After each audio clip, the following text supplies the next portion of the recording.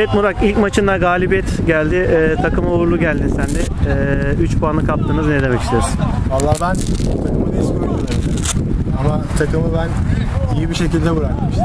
Ama çok iyi bir şekilde aldım. Burak abimin de performansı bugün gayet iyiydi. Peki kardeşim başarılar. Teşekkür ederiz.